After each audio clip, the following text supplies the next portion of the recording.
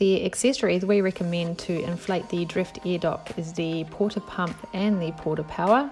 The Porta Power is a portable device so you can inflate anywhere, anytime, and plugs into your Porta Pump or any other accessories.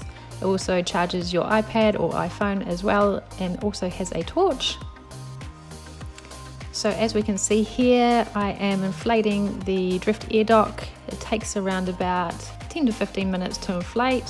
It goes up to 15 psi and you can set it on your porta pump, which is great. And I'm just showing you on the transom of the boat also inflating. So you just plug it into the valve and off you go. The good thing about the porta pump is that you can inflate your, say, your drift inflatable paddleboard or any inflatable paddleboard.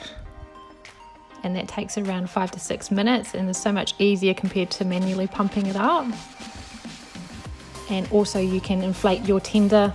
and here I'm using the Porta Power because it's so much easier just to jump on and inflate. So that's the accessories I recommend. They have a lot more advantages, not only just the air dock, but your tender and your inflatable paddle boards as well, and other devices such as your iPhone, iPad with the Porta Power.